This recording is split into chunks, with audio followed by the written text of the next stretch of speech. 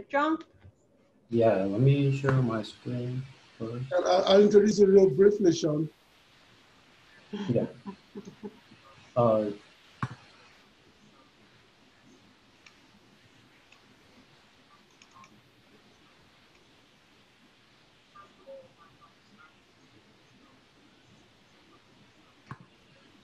Can I share my slide? Yeah, share slides.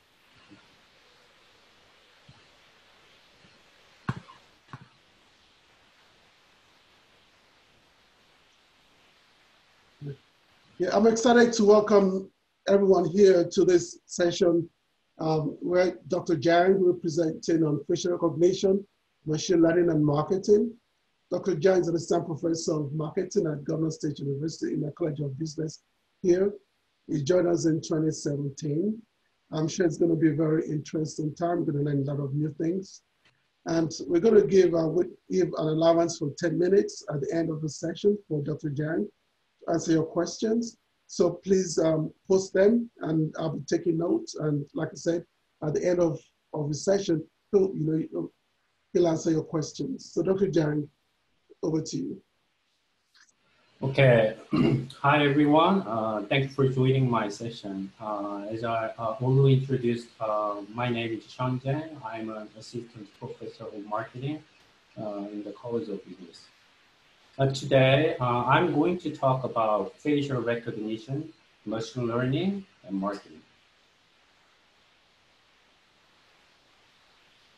So these days, many companies like Facebook, Apple, or Google they use facial recognition tools in their business. Can you think of any example of facial recognition services in your daily life?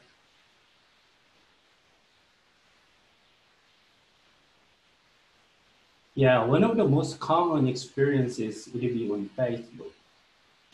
You might have found that when you upload a photo you have taken with your friend, Facebook recognizes the faces of your friends and automatically tags your friend. If you have a recent version of a smartphone, you know you can unlock your phone through facial recognition.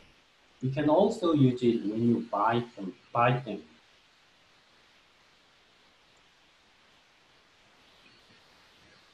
China is actually very advanced in this field.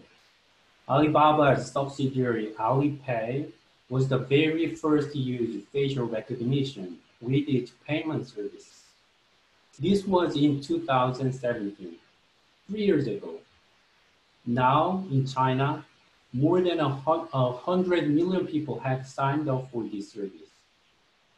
However, until very recently, we haven't seen anything like this in the US.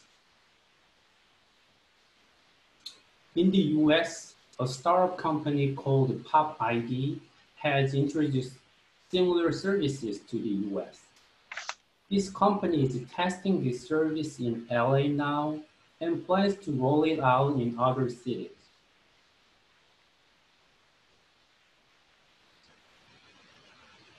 All of these facial recognition services have been made possible due to significant improvements to machine learning.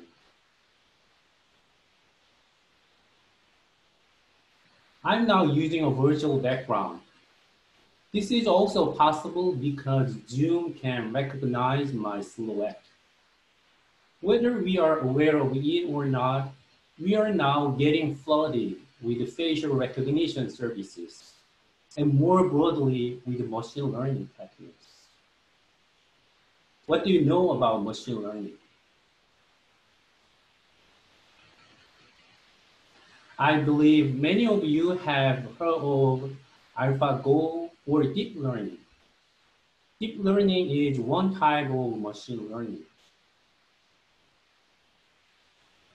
If you have heard of AlphaGo, it might very well have been March 2016, only four years ago.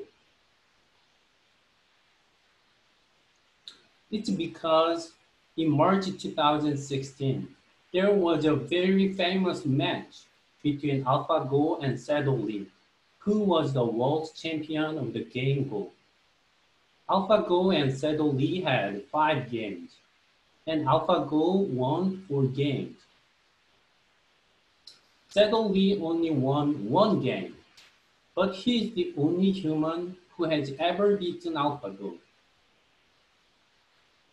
Officially, AlphaGo has played in 74 games, winning all except for one game, which was won by Sedol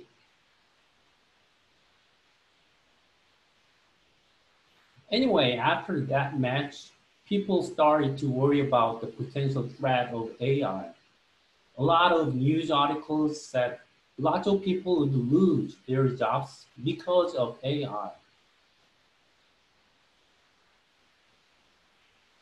Lee might actually have been the first one to lose his job to AI. Three years after the match against AlphaGo, he retired. In an interview, he said that the match with AlphaGo was the main reason for his decision to retire early.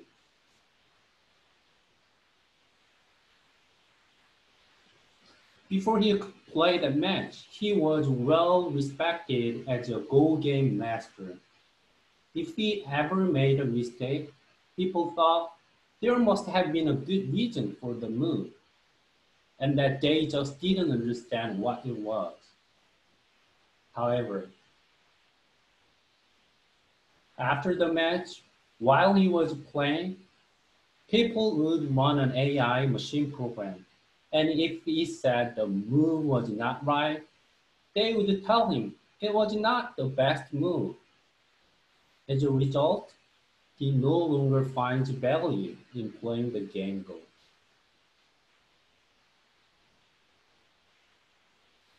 Sedol always said that Kunyan Jo was his role model.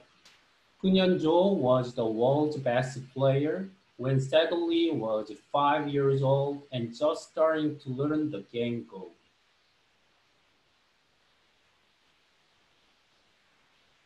Jo retired when Jo was 63 years old. He was very popular in Korea and was able to move on to becoming a lawmaker.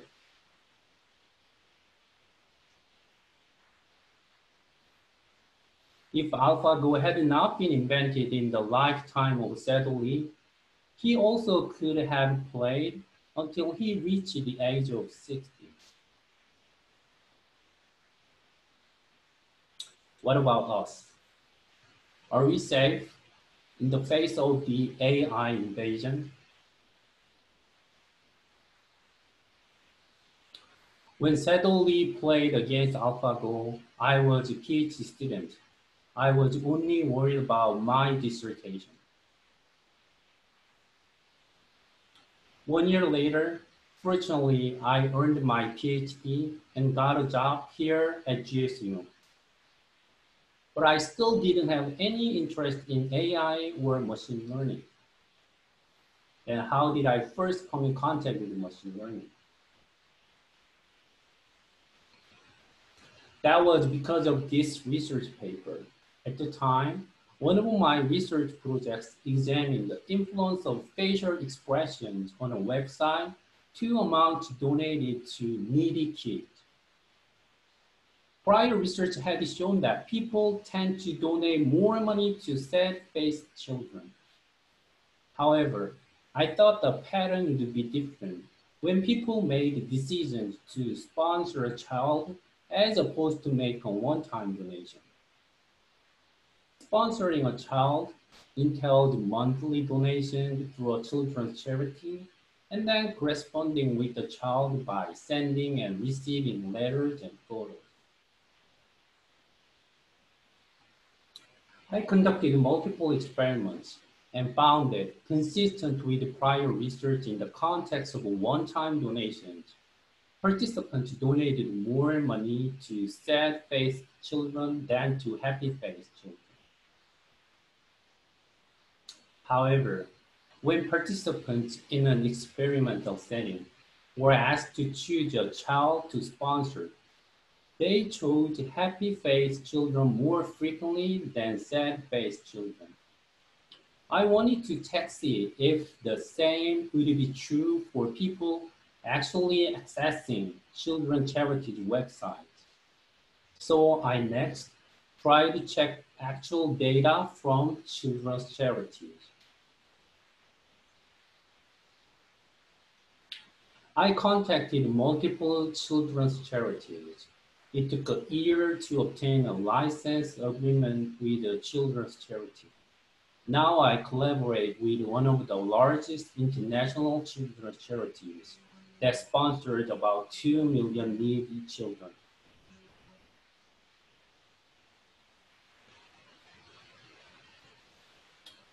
My plan was to analyze facial expression of 10,000 children. How can I do that? I didn't have any time or resources to do everything manually. That was the moment when I got interested in machine learning. I needed machines to figure out certain things. I had to learn the Python programming language and how to use facial recognition techniques. However, this new learning helped me open a new research area.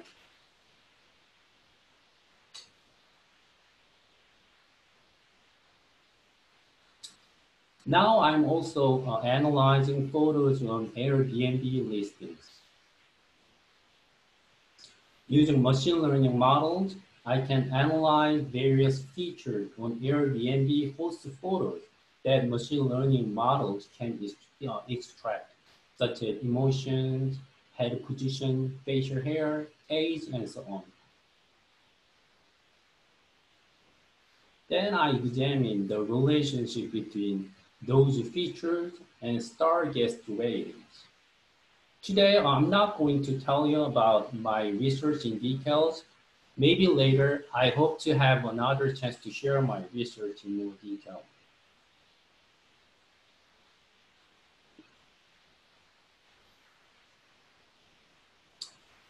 Services that we see today simply work by recognizing your face.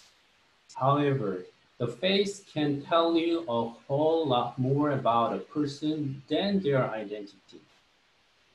I'm going to share some past research on what kind of information faces can reveal.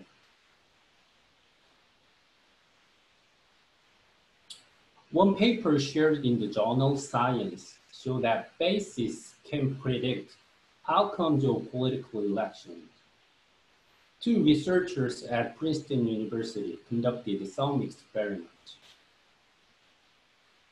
They showed participants pairs of photos of two candidates for the US Senate. One is the winner and the other one is the runner-up. Participants were asked to indicate which person is the more competent. If participants recognize any of the faces, their responses were not used in the analysis. The results show that the candidates who were perceived to be more competent won 71.6% of the Senate races. Researchers at Duke uh, University did a similar study on CEOs. They showed participants pairs of CEOs. One was the CEO of a small company, and the other was the CEO of a large company. Participants were asked to indicate who was more competent, trustworthy, likable, and attractive. Perceived competency predicted the CEO of the large company. These studies let us know that what kind of predict, uh, predictions we can make based only on faces. Let's do a similar experiment ourselves. These are two people who were candidates for a political election in Korea. And by the way, I, uh, for your information, I'm Korean.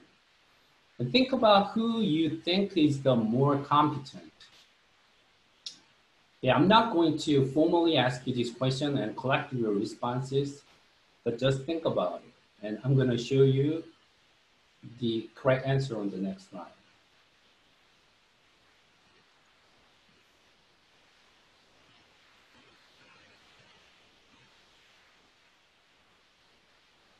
Actually B was the correct answer. His name is Myung-Bak Lee. President Lee was the president of Korea from 2008 to 2013. So I don't know what uh, how you answered, but yeah, I hope uh, the responses here yeah, was consistent with the prior research.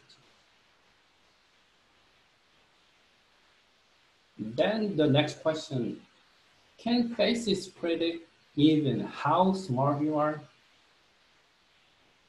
The research I'm going to share on the next slide says yes. Researchers at the University of Cambridge recruited Facebook users. They then had those Facebook users take an IQ test. They use these test scores as measured intelligence. The researchers also obtained the profile photos of those users. They then show those photos to other people and those other people rated how smart each Facebook user looked. These ratings on smartness were used as perceived intelligence. They found that perceived intelligence was significantly correlated with measured intelligence. This means that someone who looks smart may actually be smart.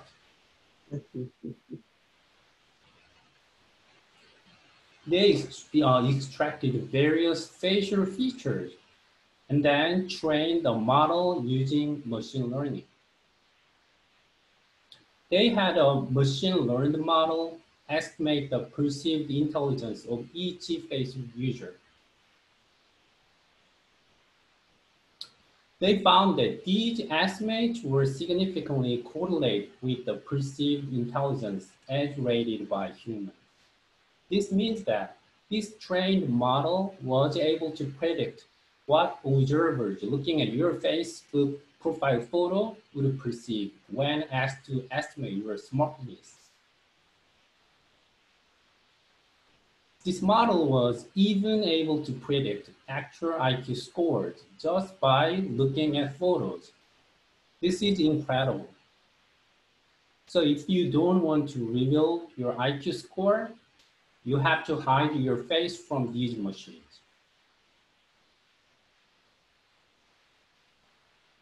Okay, now let me tell you about how machines learn.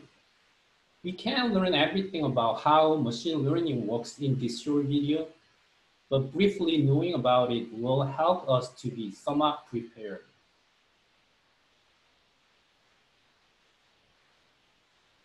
Let's say you want to teach a computer to be able to tell you the difference between images of dogs and cats. You prepare photos of dogs and cats and correct answers identifying which is which. Then you simply train the machine by showing it those pictures of cats and dogs and the correct answers for each photo.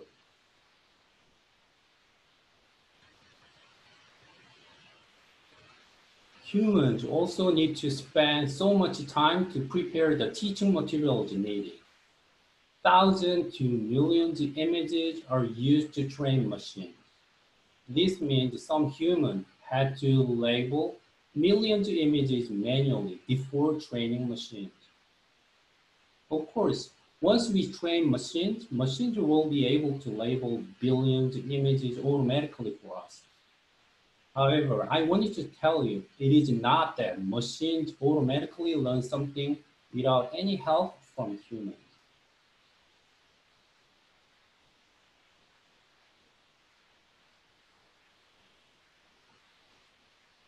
Then even when the computer is showing new photos, it'll be able to categorize those photos as cats or dogs automatically. Okay, then How does a computer see or perceive an image?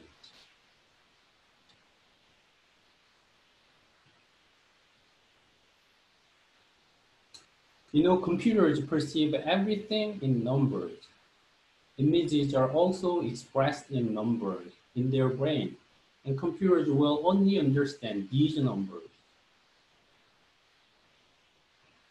So a single digit in black and white is simpler than a color kept image. So I'm going to use a digit as an example from now. Actually, machine learning research first started to try to read numbers.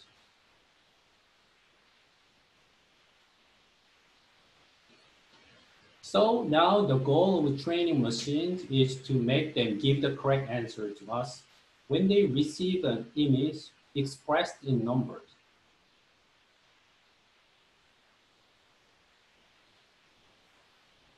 So early models use templates for each number. They then compare the input digit with each of the templates to find the most similar one as the correct answer. So this algorithm found the eight uh, template is the most similar to the input digit.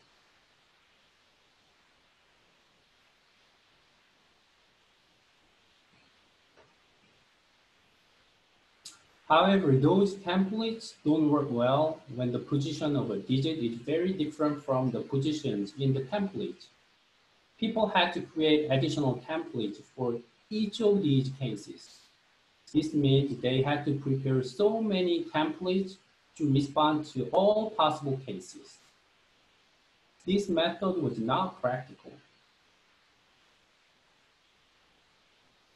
To be useful in our daily lives, machines should be able to recognize all these handwritten numbers.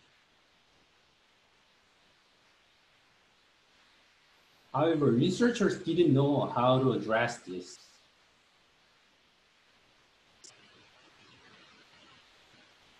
A significant improvement took place when computer scientists turned their attention to how animal and human eyes work.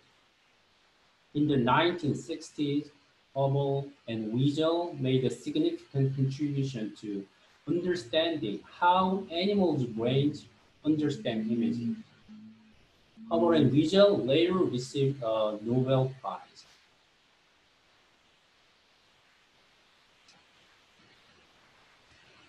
The most surprising finding was the fact that the visual system consists of multiple layers. Also, the first layer recognizes very simple things, whereas the later layer can understand complex things. Let me explain it with a simple example. When we see a number four, the neurons in the first layer detect only simple shapes. For example, this neuron only detects horizontal lines. The second one detects vertical lines. This one detects angles greater than 40 degrees and less than 50 degrees. The last one detects angles of greater than 310 degrees and less than 320 degrees. The neurons then return information such as whether that particular shape exists to the next layer.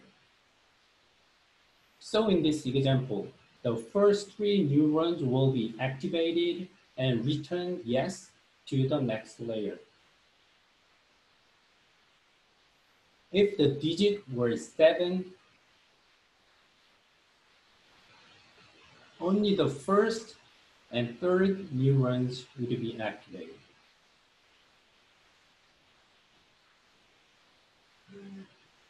The neurons in the second layer are connected to some neurons in the first layer. They receive information from the first layer and some of them are activated and give information to the next layer. In this example, In, and in this way, animals and humans perceive an image. So this is the basic concept of how the animals and human uh, visual system. In 1980, Fukushima first applied the Hubel and Wiesel findings to his model called uh, neocognitron. So you can see uh, his model has multiple layers. This uh, illustrates how Fukushima's model perceives an A. This model um, is multiple layers, and the first layer detects simpler uh, features and delivers the information to the next layer. And finally, the last uh, layer uh, will recognize an A, layer uh, Yann LeCun advanced the model and actually made a model that was able to be used in daily life. The model was called a convolutional neural network. Due to this contribution, he became a professor at NYU and the director of AI research at Facebook. Let me show you a video showing how his initial model worked.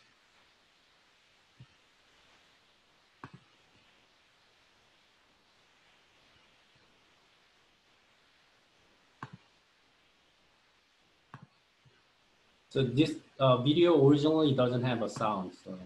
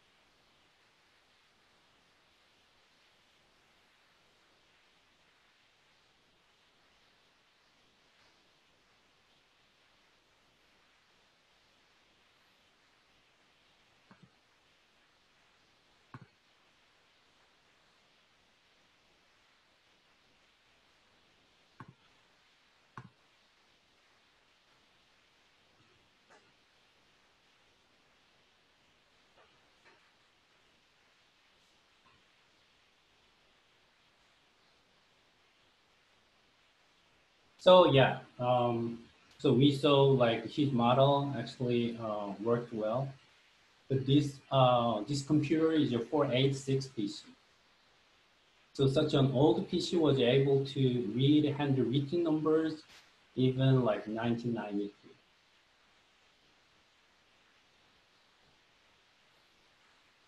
So if you look at uh, this figure, how his CNN model worked was very similar to how Fukushima's mod, uh, model worked. Various features of the number six were detected by separate feature extraction neurons.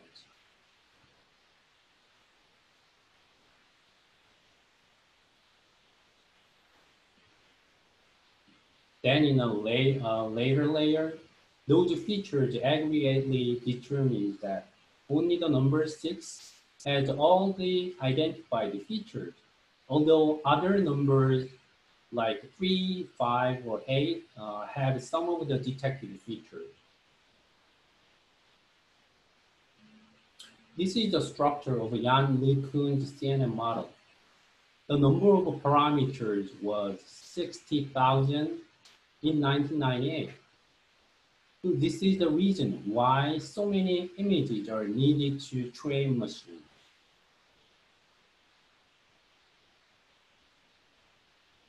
So now, now you can see his CNN is able to return the correct answer, uh, which is number four and uh, is the answer, although uh, this number is currently moving.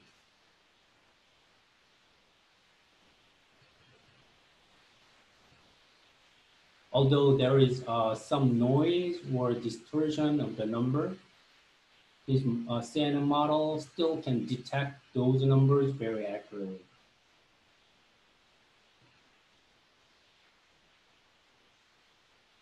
It can also read even multiple moving digits. So if you're looking at the 21 example, yeah, while the number one moving uh, at the 13 point, it looks like number four. But after that, uh, it accurately read uh, as 21. So 12, 4, and 21. So now we can see uh, his model works very well.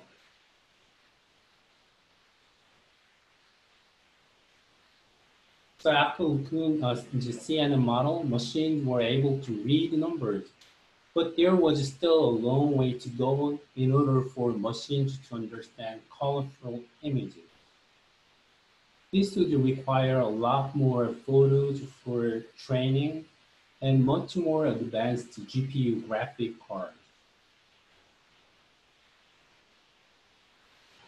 So 12 years later, in 2010, those requirements seem to be met. So researchers started to collaborate more actively to advance image recognition techniques. ImageNet Challenge an international competition on image recognition has made a significant contribution to the development of image recognition research. The task in the challenge was to assign one of a thousand category labels to a given image. For example, the machines uh, have to assign labels like these.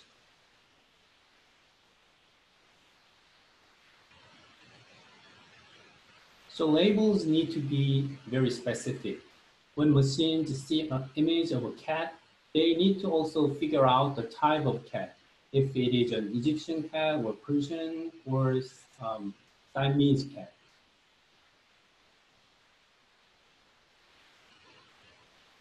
So Stanford students were asked to perform the same categorization test to be compared to the capability of machine learning.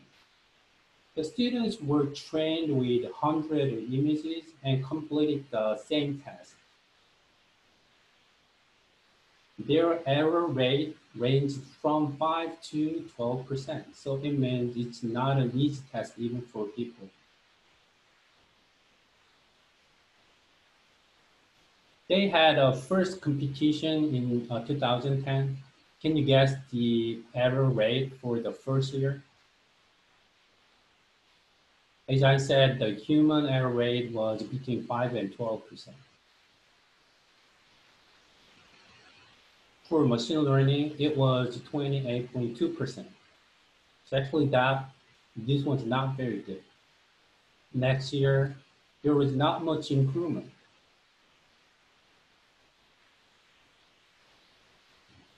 However, in 2012, a significant improvement was made. The error rate was reduced to 16.4%, which is huge. The winning model used LeCun's CNN model. Since then, all models in subsequent years were based on the CNN model. The number of layers increased from 8 layers in 2012 to 269 layers in 2016. In 2016, the machine learning error rate was below the human error rate. Thus, there was no competition after 2017 because the task was no longer challenging. Okay, so I think I told you all the basic concept of machine learning.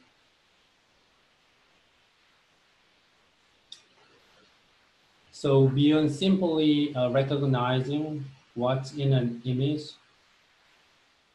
as I said earlier, machine learning can read facial expressions of emotion and extract other specific features from faces.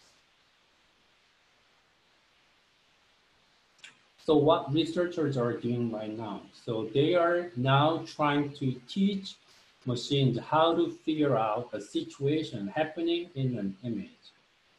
For example, from this image, for now, a machine can only tell us the image contains a car or an arm of a person and smoke.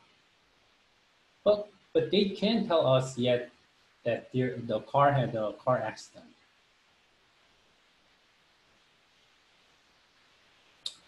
So this is all that I have prepared for today's session. So I hope you have a better understanding of machine learning than before. Uh, let me know if you have any questions. Yes, uh, thank you, Dr. Jang. And if you have any questions, please post them. Or you, or you can raise your hand. And you're given the, um, the right to, you know, ask him directly. Dr. Jang, I have a question about uh, balancing personal privacy uh, with the advancement of facial recognition technology. We know that in some countries like China, they use facial recognition, like you said, they're very much more advanced.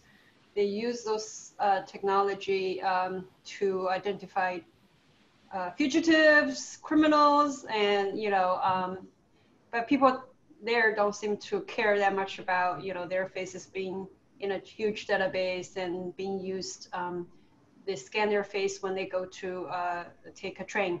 Um, you know, so how do how do we balance that? Um, there's there's benefit of recognizing having that technology, but I think in countries like U.S., people are much more uh, fearful or are you know concerned about that.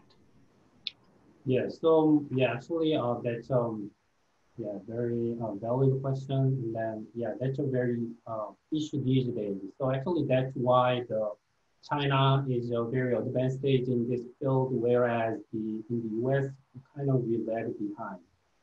So because the American people more care about privacy. So and then recently you might have uh, seen a news article about the Amazon or Google, Facebook, they stopped selling their technology to the government because they worry that um, about how the U.S. government use that technology when they um, detect some criminals. So they think that their privacy or human rights were not protected well, so they stopped selling. So actually, um, it's very complicated. So as a business professor, I kind of stopped thinking about that. But uh, I believe that um, there could be some uh, the laws to protect those things because if, you think about like credit cards, actually um, maybe I'm not sure, but there could be some worries before uh, starting to use credit card because if you your card is stolen, then people would worry that, okay, so everybody can use your money. And then even when we pay, we give credit card to somebody we don't know, they actually still can take a photo of the credit card very quickly, or even um, your social card or those things. But because we have law uh, just preventing them from doing that, so we are like live safely. So I guess we need some time for like authorities to prepare the relevant laws. So finally, even if the cameras can like take photos of our faces, but if we have law, then I believe we will proceed a safe, safely can That's very interesting, Dr. Jang. So let me let me follow up on, on that question. So what are some of the commercial applications for facial recognition? I mean, how do you see them being used now and in the near future? Yeah, so as it uh, like should already be um, using facial recognition, mainly uh, they're used um, like for um, kind of like detecting your um, like ID, like identity, right? So you can pay uh, without just physically uh, like pulling out my credit card and giving to you, but just by showing my faces, I can pay. But later, um, I showed this, those uh, past research like um, the faces can tell us how competent you are or how trusty you are. So I guess this can be applied to some marketing tools. So one of the, actually the the as I said, China is very advanced. So the most um, like leading company in the facial recognition field is a Chinese company, and their kind of recent service is reading, uh, giving us a beauty score. So if I show my faces, then they kind of estimate um, how other people think about my beauty. So actually, they can be uh, used a um, some app for now for just fun purposes. But I also read some papers about like what's the beauty and then beauty, the definition of beauty different across countries. So actually in Korea, we have uh, a lot of people do plastic surgeries right. and then they papers are in that field and then they interest in that topic, what's the beauty in this particular country because when they consult their client or patient, they need to give some direction. Change your face like this. So I don't know, that will also cause some ethical issues, but anyway, I guess um, that, that will open a lot of uh, opportunity for business. Dr. Ujwala has her hand raised. You're muted. Yeah, you just touched upon the question that was uppermost on my mind. I wanted to ask you what role do you think machine learning and facial recognition might play in reinforcing harmful stereotypes, particularly in an age when we are trying to dismantle stereotypes? So, for instance, if uh, the people who are doing the labeling sort of label a fair skinned person as being beautiful, and then the machine learns that fair skin equals beauty, then you are inadvertently reinforcing a stereotype that the world is working very hard to dismantle. So, uh, I just wanted to know your uh, opinion and your reactions to that possibility. Yeah, actually, yeah, that uh, caused a lot of like ethical issues. And then um, there is one uh, paper from MIT, and then the researcher found that sewing machines are not good at uh, recognizing faces of colored people or the female people. The reason is they, um, maybe I guess the male, uh, the photos of male people are were more available, so they use the male people when they train. So actually there could be some like limitation. Maybe if the Chinese companies, they use the photos of Chinese people, then could be biased when they define the beauty of people more toward the, the preferences for uh, all Chinese people. So I think that uh, could be some kind of goal for the those machine learning companies to address. So always like depending on what kind of data they use when they train, there could be some bias in that model. So let, let us go follow-on question to what you spoke about a couple of minutes ago about plastic surgery. So if I'm not really very smart, but I figure out that you know if I look a certain way, but you know the you know the, the technology will label me as smart, and I apply for a job, and I do you know I do some surgery, and you know the company thinks I'm really very smart. So unless the company has some follow-on interviews, but to figure out whether I'm really, really, really smart, I could get the job. The time they find out I'm not that smart, you know, the has a cut cost. You know, the cost of recruiting, the cost of training me, you know, just based on the, you know, you know, some machine telling them that, you know what, this face looks smart, right? So um, how do you prevent, you know, gaming, right? So people might want to game the system. That's just an example. There could be other ways that people come out, you know, to game the system to create a perception of themselves that's not accurate. Yeah. So yeah. Yeah. Again, like I hope there could be a like efficient law to the make this everything work efficiently and helpful for everybody. But just I um, Actually, the, in Korea, many people, like even male uh, applicants, they do plastic surgery. That's not common, but to get a job. So if, uh, and then so in the US, in resume, we don't put our photos on resume, but in Korea, I guess they changed the rule, I guess, right now. So only many people don't ask applicants to put their photos on the resume, but in the past we did. So actually that uh, caused some like discrimination. So, but anyway, for that reason, some people were willing to do plastic surgery. And then from that paper, one interesting thing that I remember was the glasses. Wearing glasses is one thing that not actually correlate with how smart you actually are, but uh, when you glass uh, wear glasses, people perceive you be smart. So yeah, so except for June, yeah, if we are wear glasses, kind of like good strategy to like work as a professor.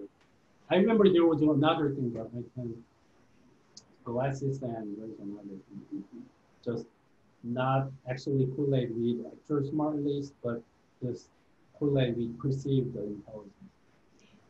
Uh, there's a question here. Oh, Dr. Jang. Q&A, and also Rita also raised her hand. It's about uh, law enforcement. So, Sean, uh, can you see the question posted in Q&A, or do you want to read it to uh, talk? Enforcement. Recently, there was a case where someone was inappropriately prosecuted based on inactive facial recognition. Can you speak to the protection? yeah, as I said, that's why uh, the companies like Google and Amazon, they stop selling uh, that technology to the government.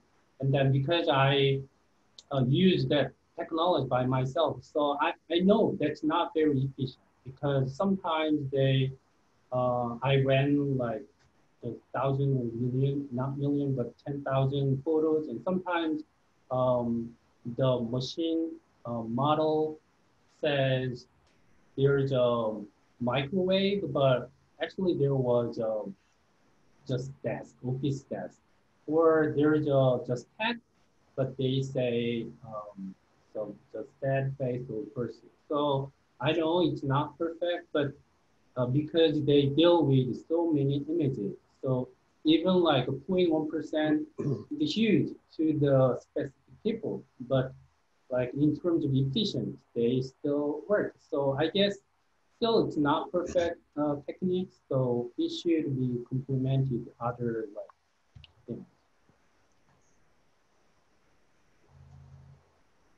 And then the, I'm uh, reading the second question. What are your potential research ideas or topics that you are currently working on other than donation activities using that uh, this technique? Yeah, so as I briefly told you, the Airbnb listing are um, the topic that I'm working on. So as I said, uh, actually machine uh, learning models can extract uh, various features from uh, host faces.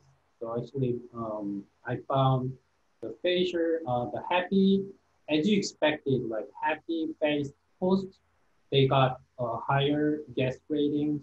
And then one finding that I didn't expect was uh, they also measure the head position, like this is the pitch or just angle like this.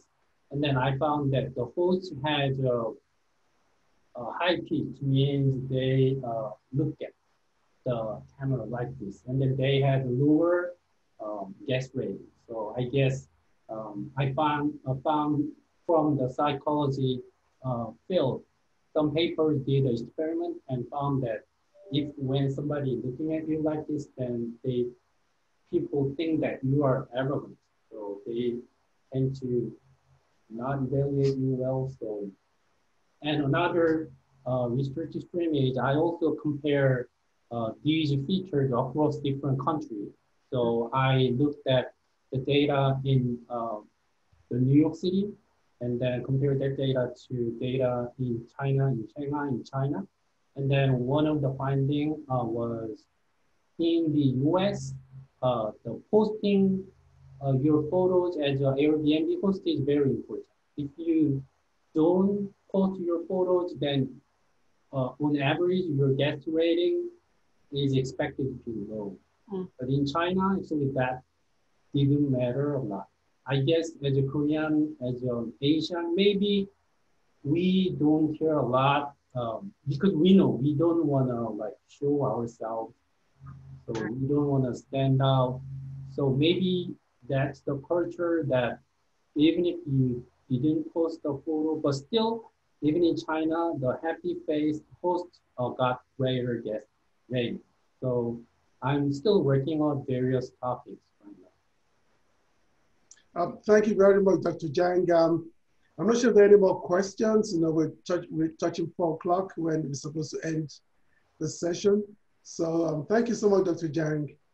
Thank you. That was very, very interesting. Very interesting. This is, is indeed fascinating. Uh, I just want to quickly mention that tomorrow, uh, starting at 2 o'clock, we have our virtual career and internship fair. Again, 10 companies will be there to meet with our students and alumni uh, in one-on-one virtual session. Um, so please do uh, register on the platform. Um, and then six o'clock, we'll have our closing keynote and the um, College of Business Alumni Hall of Achievement. Um, so we're looking forward to see you there uh, tomorrow too. Thank you very much. Thank you, uh. Thank you, Sean. Wonderful presentation.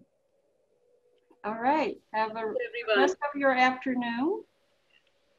Enjoy the weather. Thank you for joining us. Bye-bye. All right, bye. Thank you, everybody. Bye. That was so cool, Sean. Uh, Thank you.